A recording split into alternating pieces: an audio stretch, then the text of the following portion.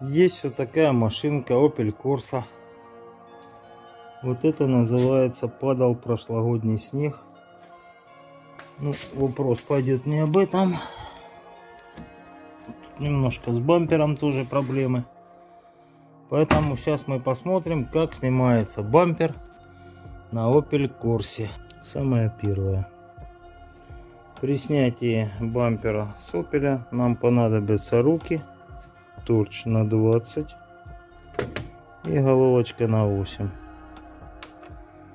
Вот и все, что надо для того, чтобы снять бампер. Для начала открываем капот. Вот раз, два, три, четыре болтика на 8. Начинаем с них.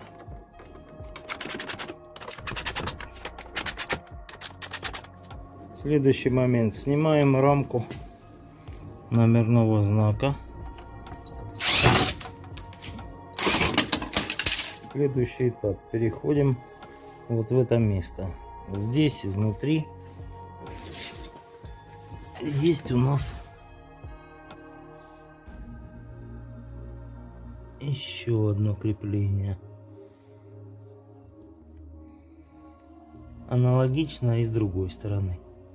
Вот линия бампера. Параллельно ей устанавливаем инструмент и откручиваем. Торч у нас на 20 здесь. Еще раз повторюсь. Вот параллельно этой линии изнутри откручивается саморез. Аналогично с другой стороны. Еще один торч у нас находится вот здесь бок открутили вверх открутили здесь открутили теперь переходим вот сюда вниз. Раз два три четыре пять. Я потом покажу на бампере здесь неудобно где они крепятся. Такие вот они торч на 20 дальше. Все мы здесь освободили вот так легким таким движением снимаем три защелочки. Вот он выкручивается саморез, как я показывал. Все, здесь освободили. С той стороны то же самое. Берем и аккуратненько, без фанатизма выщелкиваем. Все целое, это хорошо. Вот они, раз, два, три защелочки. А вот они им ответки. Дальше что у нас есть? У нас есть противотуманки. У нас есть парктроники. Все это сейчас потихонечку, плавно будем отсоединять. Немного выдвигаем бампер в сторону. И вот он у нас есть доступ. Видим мы, вон она противотуманка чтобы не заморачиваться долго. Лампочка вынимается вот так со сдвигом.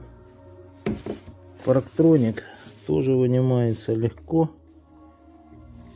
Вот так немножко его подвигаешь и он выщелкивается. Вот они защелочки на бампере. Вот он следующий парктроник вот так это все легко и просто отсоединяется. Как мы видим, один парктроник тут был уже вырван с мясом. И есть у нас еще вон он датчик температуры. Защелочка легко и просто отщелкивается тоже вверх. И он выходит. В итоге получаем вот такой вот внешний вид. Все, больше нас ничего здесь не держит. Бампер отделяется от автомобиля. Еще один маленький нюанс, на который стоит обращать внимание. Одно дело, когда вы ремонтируете родной бампер, там склеиваете, красите или спаиваете, это одно. А вот Допустим, здесь мне не понравились зазоры Поэтому прежде чем красить ну, даже новую купленную из магазина деталь, следует ее примерить, убедиться в том, что все зазоры подходят правильно. И только после этого брать, отдавать деталь в покраску. На этом все. Всем пока-пока. До новых встреч.